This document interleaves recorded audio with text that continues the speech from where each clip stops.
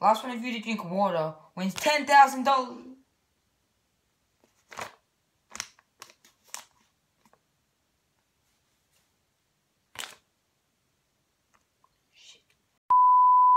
Here are our contestants. We have Chris and Chandler. Anyway, um, the competition starts in three, two, one. Three days later. Alright, well, you guys have been going for a few days now, so let's see. Chris! Chris! Oh, Chris, get up! Well, looks like Chandler has won the competition. So here you go, Chandler. Here's, here's your five bucks. They, yeah, just, just take it like that. There you go. Oh.